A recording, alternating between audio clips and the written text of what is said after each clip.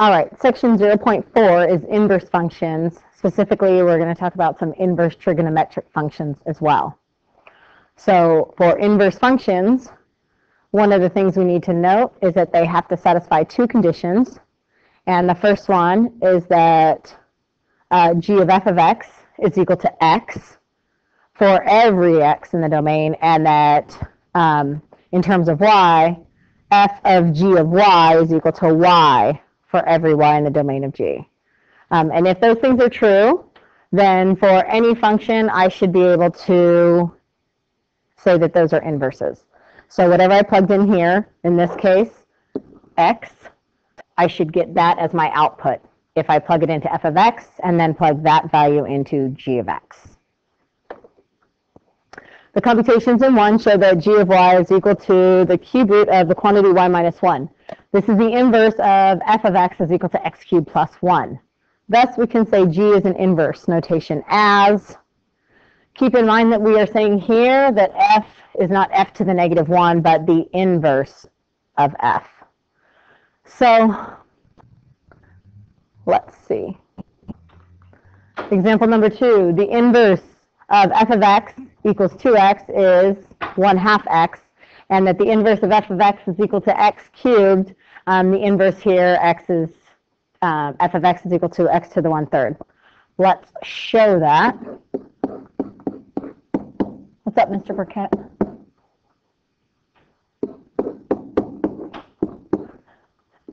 We start by switching the x and the y, and now we're going to solve for y. Keeping in mind that this y right here is really the inverse. So 1 half x is equal to the inverse. All right, so we confirm that the first one is true. So let's take a look at the second one and start by writing the original function. I like to switch the x and the y right off the bat. So again, remember this is our inverse. And so in order to solve for that, we're going to take the cube root of x is equal to the inverse. And using our remembering of laws of exponents. This is x to the one-third. So check on both. Given that the function f has an inverse, and that f of 3 is equal to 5, find the inverse of 5. The important thing to note here is that when you have an inverse, the domain and the range flip-flop. So what used to be x, in this case,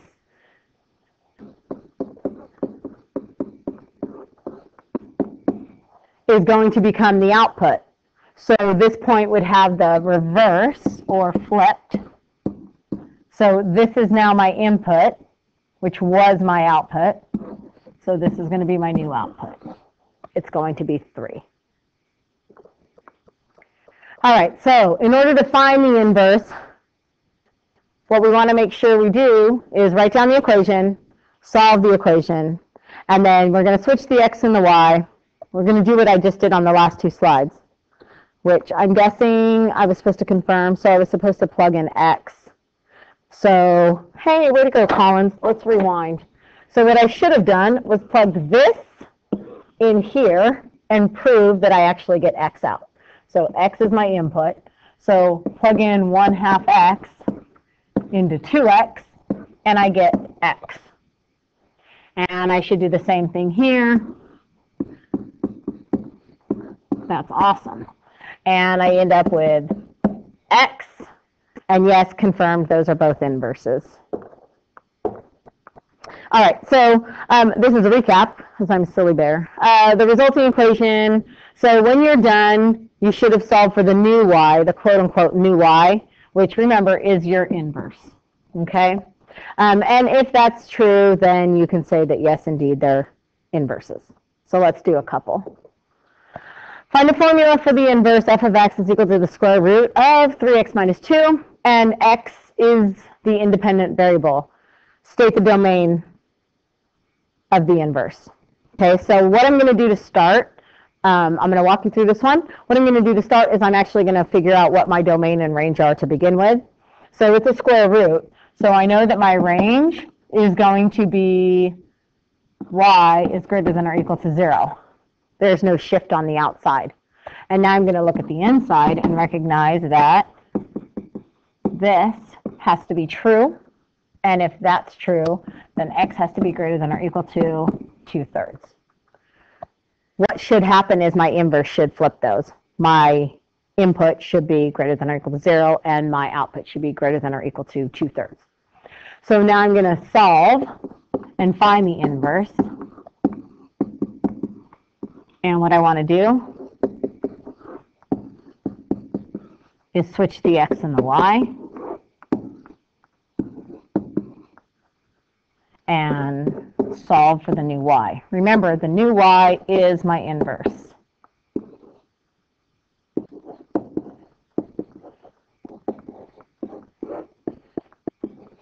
So I get a new inverse of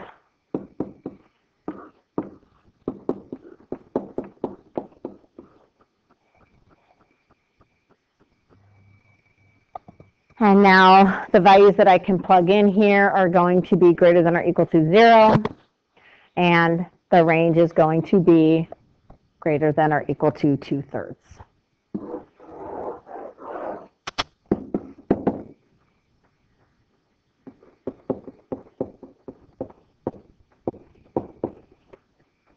No matter what. Okay. So a function has an inverse if and only if it's one-to-one. -one. That is the horizontal test. So the horizontal line test. So the vertical line test is used to figure out if a, an equation is a function, and the horizontal line test is used to determine if it's one-to-one. One-to-one means that this y value can only be used once. It cannot be used twice. Example 5, use the horizontal line test to show that f of x equals x squared has no inverse, but that f of x equals x cubed does. So the horizontal line test says that I'm going to show that any number cannot be used more than once, any y value, that is.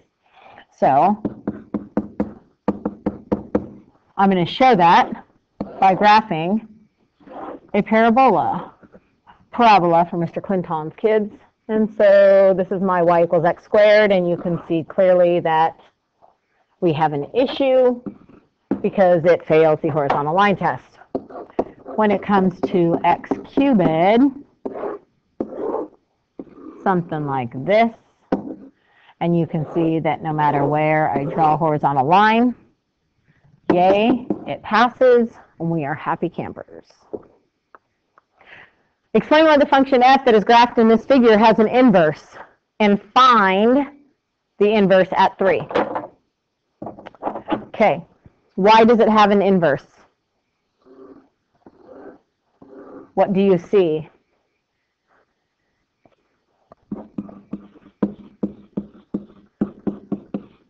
It passes the horizontal line test.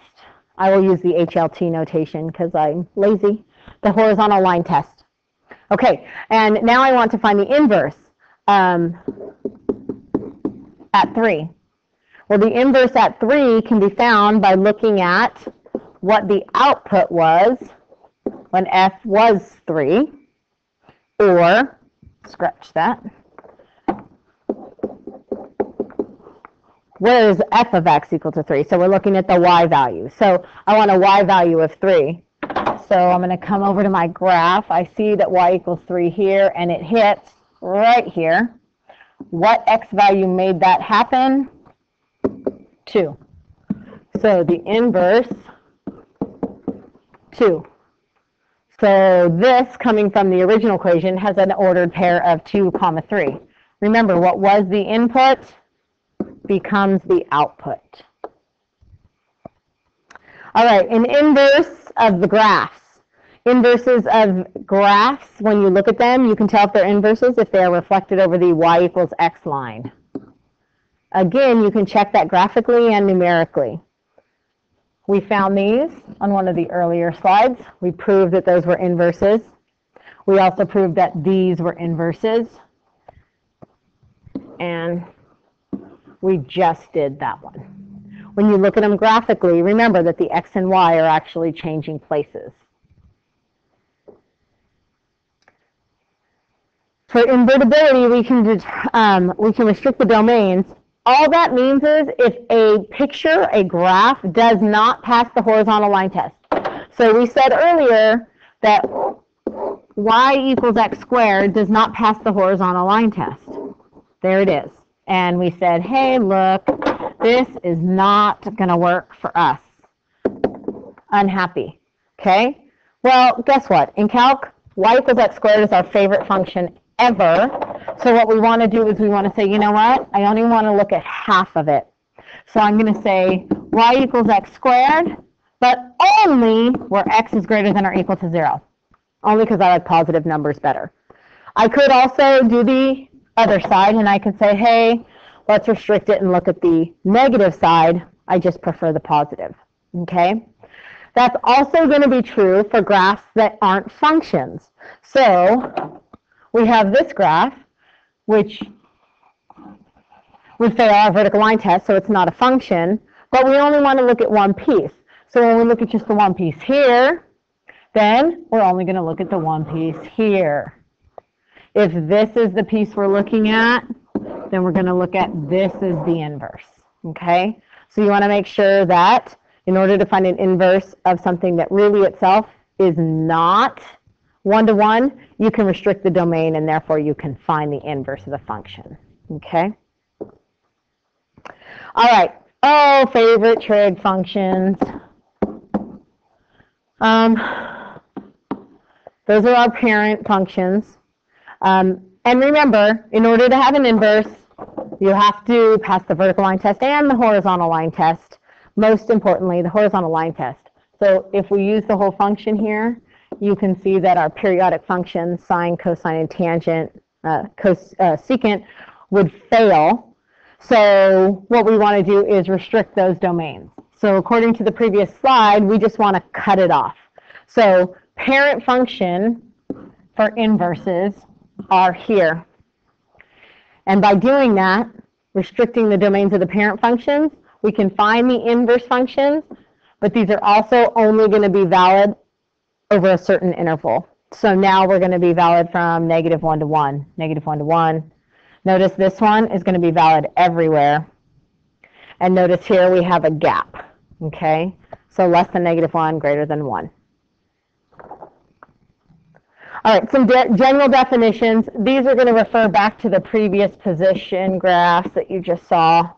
Okay? So that's all we're going to do.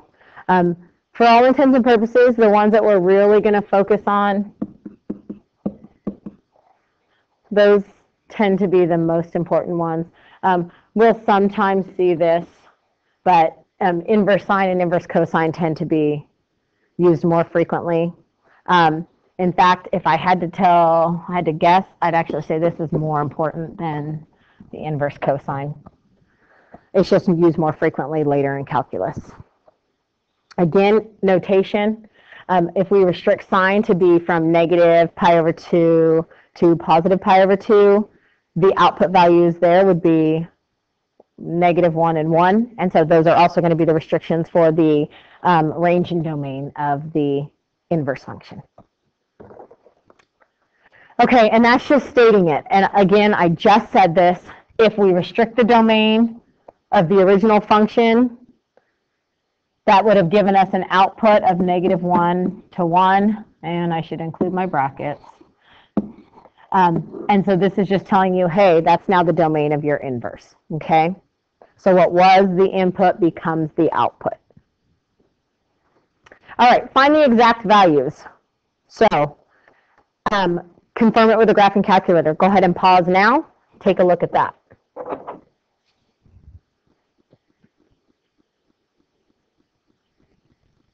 All right, from honors pre-calc, we should remember that this is a length from our baby unit circle. Um, you might better remember it as root 2 over 2, which is very nice because that's going to be at 45 degrees. But what this is really saying is this. And so what I want to look for is where is the sine of theta equal to root 2 over 2? And the first time that happens is quadrant 1, and that would be at pi over 4. That's where that happens. For part B, I'm looking for that. Where is the sine of theta equal to negative 1? Sine of theta is equal to negative 1 at negative pi over 2. You can actually check that now with a graphing calculator or a scientific calculator would work. All right, now we're going to do the quick check. Um, in each part here, on number four, please, please, please refer to your baby unit circle. We love her. I know you all have her. Um, and again, when you are finished with this on your own, you should be able to check your answers on page 52 so we can discuss that tomorrow in class before the practice.